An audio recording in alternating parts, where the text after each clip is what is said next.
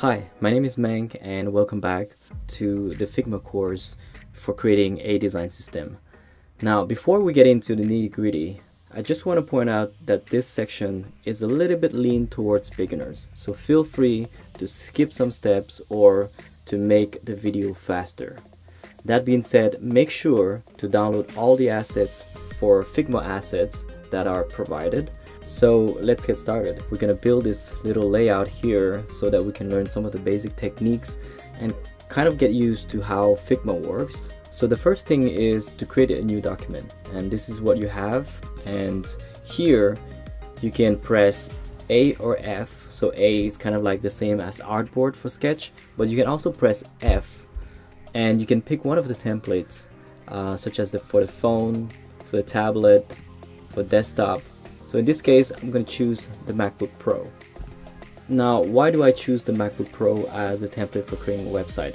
Well the reason why is because first of all the MacBook Pro is a 13 inch screen and it's a, a very popular resolution but at the same time it gives me a lot of space to work with. And that is really important for creativity for giving a lot of negative spacing whenever you create your element so that it breathes a lot and that really helps for your design. Now let's talk about grids. Uh, grids is really important because it allows you to space and align elements against each other in a consistent way where it's good for aesthetics and legibility. When we talk about mobile design, we usually use the 8-point grid. But when we talk about web design, we usually use the 960 grid. But in this case, I would say that it's not super important um, in how you divide your grid. But what is more important is how you place um, your element inside a grid. So in order to create one, you have to go here, which is the layout grid, and you're gonna click on a plus sign, and you're gonna have by default the grid 10 which is perfect for me because I like to round my numbers in increments of 10 as much as possible so that it's cleaner and it's more consistent. Most layouts start with a cover image. So I'm gonna do a rectangle. I'm gonna press R to create a rectangle. And as you can see when I'm moving it's really trying to to follow the grid. And that's really nice and useful. So one thing you can do in Figma, just like in Sketch, is you can use a math in the field. So for example, I can say 200% and that would be 200% of the initial value versus in Sketch it would be 100% uh, for example of the artboard. Uh, but just like in Sketch you can divide by 2. You can also mouse over the first letter and you can do scrubbing which is really nice as well as you can see here. Uh, obviously I'm just gonna place it so that it takes the full width and the full height as well. And as you can see I'm using smart guides to help me. Another important thing to know in Figma is how you select elements. Uh, for example here I can select this but I'm selecting the frame and not the actual rectangle. So you can actually use uh, command click to go directly to the element that you mouse over and that you want to select, regardless of how much nesting and how many groups that you have. Let's turn off the grid for now. Uh, but what you're noticing is that if I resize my rectangle, it still kind of do these uh, really nice increments of 10 that I'm looking for. So that's why we have set up the grid. So let's change the background color here. I'm gonna click on the fill and here I have the normal color picker that I can change to any color that I want. I can also see that I have a bunch of colors that are presets which are my document colors. These colors are automatically detected based on what you're using here in your Figma file. But otherwise when you're gonna have library it's gonna be here. When you're gonna have styles it's gonna be present here as well uh, you can also move to linear, so you can have a gradient, or even radial, angular, diamond. But let's change the image.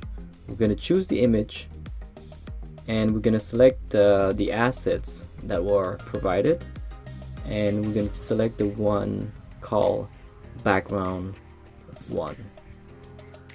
What is kind of cool here is that you can change the fit, the crop, and make it tile, but you can also change the exposure of the image right from the fill property. Okay, so let's close this and create a text layer. I'm gonna press T and I'm gonna write learn to design and code modern apps. Here I'm gonna set it to 60. I'm gonna set the color to white. Now make sure that you have the desktop app so that you can have access to also your system fonts, your local fonts. So I'm gonna set SF um, Pro Display and I'm gonna make it bold. This text layer can also have a fixed width, so I'm gonna make it 500 pixel width and I'm gonna set it to center. The other thing I can do is to align it within this box to be in the center. So I can click here using one of the align tools. I'm gonna go align horizontal centers, which does exactly that, and vertical as well.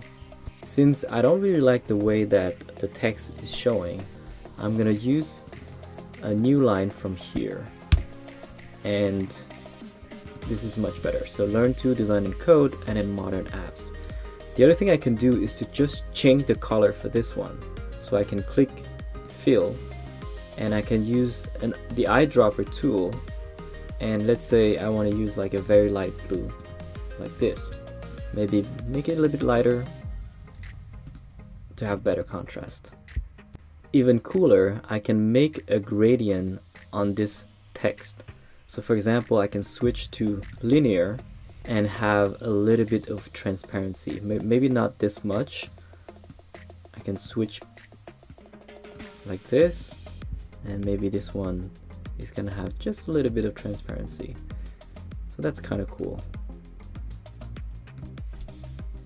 I can even change the color a little bit.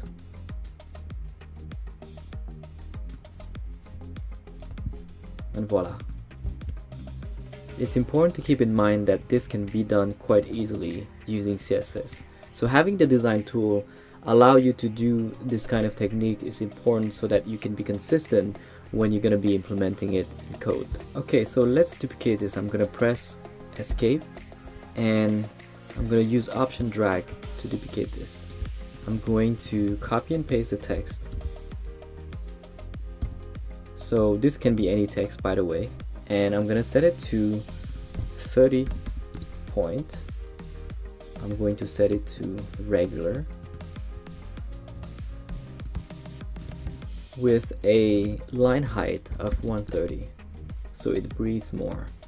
I'm not gonna have a linear gradient this time so I'm just gonna go back to solid and white but with a transparency of 80%. Now I want to have a distance of 40 pixel from these two elements so I can use the option key to check the distances.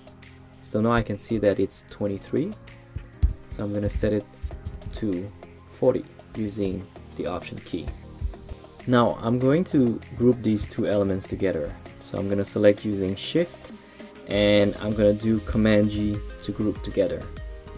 Always uh, name your layers as much as possible. So I'm going to name these group text and again I'm going to center it vertically. Now let's create a circle. I'm going to press O, set it to 120 and by the way, you can use shift, so you can hold shift to make sure that it keeps the aspect ratio. So I'm gonna set it to 120 by 120. Again, center. I'm gonna use Control C to eyedrop. So I'm gonna set to the dark blue right here and set it to a 50% opacity like this. Now I can use background blur so this is what the effects are for. I'm gonna click plus, change it to background blur, which is kind of neat. I can set it to 40. And there you go. Let's create a play button. We're gonna go here to insert a polygon. And using shift I'm gonna create something 70 by 70 and by the way I can change as many polygon counts that I want. But here I'm just gonna use 3 I'm going to change the corner radius to 5 and then I'm going to change the rotation to minus 9 degrees. So now I have a neat play button and obviously I can customize the size. So I'm gonna set it to maybe 80 by 60 or 70 okay so let's group these two layers together. So command click and command click shift and then command G. Name the group play button. Another thing that we should do is to make the text a little bit more readable. So I'm gonna command click this I'm gonna go to effects plus and here I'm gonna set the blur to usually twice as much as the Y position. The X position should not be changed. So for example I'm gonna set it to 20 and then 10 that looks pretty good. So now let's work on the menu. As you can see here we're gonna create this menu. And one thing I want to show you is how to import a sketch document. Um, so I'm gonna go to Figma and here if I go to file I can do new from sketch file. I can also drag and drop of course but I'm gonna do this and design code logo. So this is going to create a new Figma file using exactly the same layers that I have created in Sketch. And as you can see everything is in vector and it's absolutely wonderful. So now I can just copy and paste this logo that I want. So I'm going to copy it, go back to my document, and I'm going to paste it right here. And this is a vector. I'm going to resize this to 30, so using shift. Voila. I'm also going to add a bunch of text buttons. So T and then courses. I'm gonna set this to be white, set it to 20 and bold. Let's make it a distance of 50 from the logo. Also make sure that it's aligned to the left like this and from here I can just duplicate this so option drag again at 50 and I'm going to do that multiple times. So command D again. So as you can see by doing so I was able to duplicate multiple times by keeping the same distances. So now I'm just going to change the text to downloads and then to pricing and sign in. Let's make sure that we have a consistent space so 50 between each element. Then I'm going to create a button that is 150 by 40 like this with a corner radius of 10 and I'm going to change the color so I can go to this document for example copy and paste here the color code then create a text try for free set it to black and you can just center it using the smart guide. Of course I can group the two of them together. So try button and then I'm going to group all the text as well as the logo. And name it header. From here I can just align the whole thing in the center and about 50 from the top like so but you can see that the spacing here is not consistent, it's about 64. Uh, you can always double click to go inside a folder and then another subfolder and so on. So double click, you know, option to get the distance, get to 50 and we're good. Select the whole thing and align it again. Let's also fix the logo so it's a little bit more centered. Cool, so let's create another button right underneath here. So I'm gonna create a rectangle that is 220 by 40. And here I'm gonna create a pill shape button using the corner radius of 20 so the corner radius should be half of the height so that gives the pill shaper button I'm gonna create a fill of black but at 80% opacity and a stroke of 1 make it white at 25% opacity. And then let's move it to 40 from the text.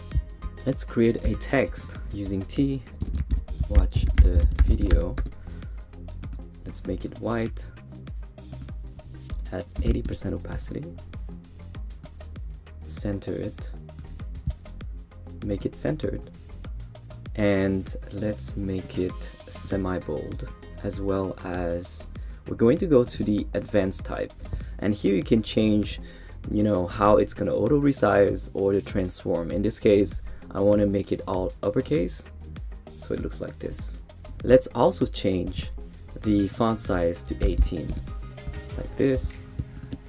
Let's align it and voila. Group it together command G name it watch button. Let's create a rectangle of 50 by 50. This is for the logo and I'm gonna change it to image choosing one of the logos such as sketch for example and I'm gonna set it to fit so that it fits all the time in this box now I can just option drag this with the 40 distance and I can do command D multiple times. I'm going to do so until I have eight logos like this. Now I can just change the image for each